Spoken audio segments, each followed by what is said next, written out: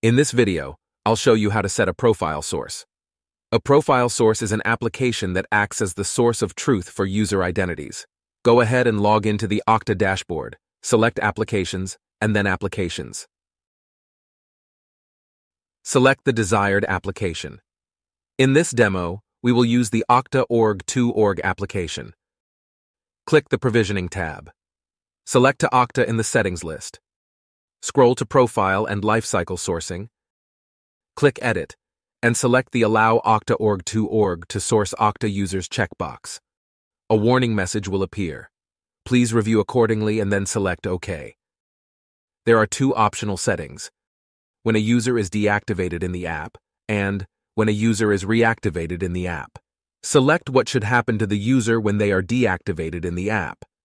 Do nothing prevents activity in the app from controlling the user lifecycle. This still allows profile source control of attributes and mappings. Deactivate. This default setting allows the user to be automatically deactivated when deactivated in the target app. Suspend.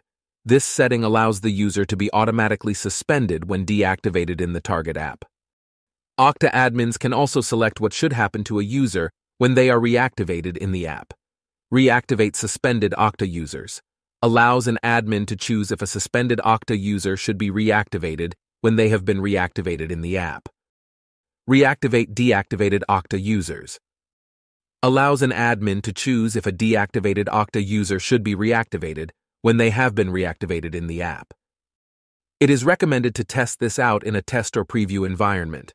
Once changes have been applied, validate a user's profile to ensure that the proper values have been applied to the targeted attribute in question. For more helpful videos, check out the Okta support playlist on the Okta YouTube channel.